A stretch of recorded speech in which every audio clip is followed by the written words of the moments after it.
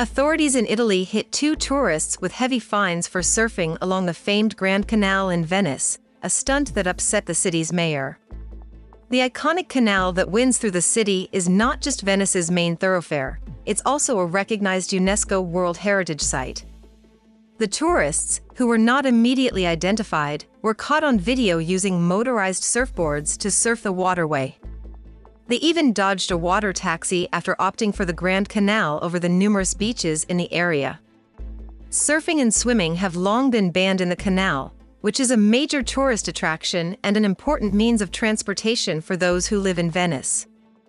Venice Mayor Luigi Brugnaro posted a video to social media in a call to punish the surfers. He called them two overbearing imbeciles who are making a mockery of the city. The surfers were ultimately tracked down and their surfboards confiscated. They were fined more than $1,500 each.